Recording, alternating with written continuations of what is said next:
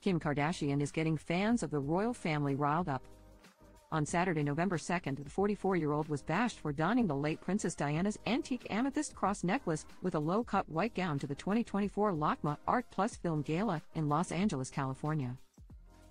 For the event, the mother of four wore a cleavage bearing dress with a symbolic piece of jewelry, which the royal originally debuted at a charity event in 1987.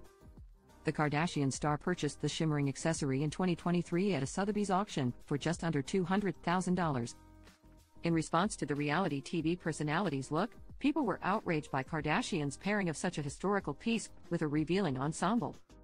She has the power to make every outfit look so tacky, one person penned about the outfit, while another added, she turned it into something vulgar. She had the audacity to put it on with this dress. Purely tone deaf, uneducated, narcissistic, unattractive brain, a third ranted, as a fourth noted, what a disgrace. Diana was a true beauty inside and out. A fifth individual dissed, Diana wore it better. Does Kim own any complete outfits? While one more user stated, perfect example of class versus.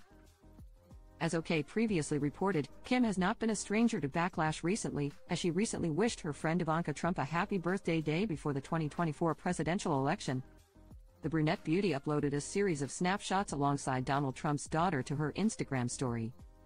No one sweeter than you, Ivanka Trump, Kim captioned the post. MAGA critics then came after Kim on social media for her choice to share the birthday message. So she's a Trump supporter? One user wrote as another shared, Burrow wants to be invited to the White House again, so bad. Kim K posting this a week before the biggest election in history is a deliberate choice, and I'm not saying I expected anything more from her or her family, but wow. A third person pointed out.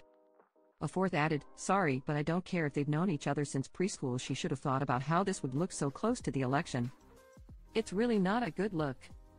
One more individual agreed Kim Kardashian posting a story with Ivanka Trump yesterday is absolutely insane. You can't say it's just a birthday post. She knows the timing. Why are y'all surprised, lol? They've known each other for decades, an additional person pointed out.